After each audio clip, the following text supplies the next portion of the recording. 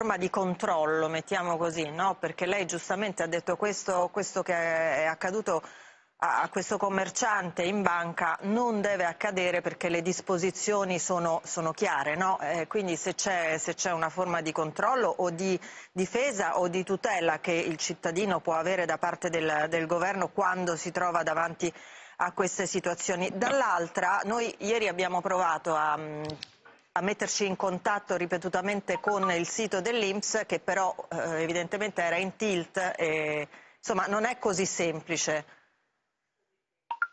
No, non è semplice, è vero, eh, l'emergenza tocca tutti, tocca anche le strutture eh, nazionali, eh, tocca anche la, la rete che eh, è sovraccarica e quindi talvolta mette in discussione, però come dire, eh, premesso che non è semplice, poi tutti dobbiamo fare la nostra parte. In termini di controlli, non soltanto per la questione bancaria, credo che ci voglia eh, un insieme di incrocio. Eh, ovviamente i primi che devono fare i controlli sono i, i, i, vertici degli istituti bancari per quanto riguarda le banche, ma io penso che i comuni e le associazioni dei consumatori devono trovare a questo punto un, un accordo, un, una modalità comune, non speculativa assolutamente, ma molto diciamo, determinata nel far sì che tutte le regole che stiamo definendo vengano, vengano applicate. Io penso che il ruolo dei comuni crescerà nei prossimi, nei prossimi giorni perché sono veramente il, il, punto di snodo. Non tutto si controlla da Roma, non tutto si può decidere. Noi abbiamo fatto una prima erogazione,